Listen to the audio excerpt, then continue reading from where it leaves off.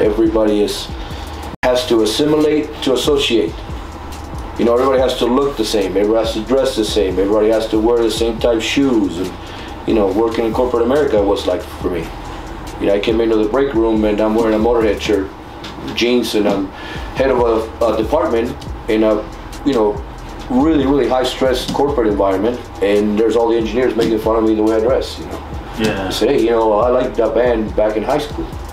And I said to him, well, what happened? You lost your taste in music? you know, things like that. Yeah. And I was being a one percenter at work. Yeah, yeah. Not wearing my patch or anything, but just being different than than the cookie cutter version of, of the world, you know?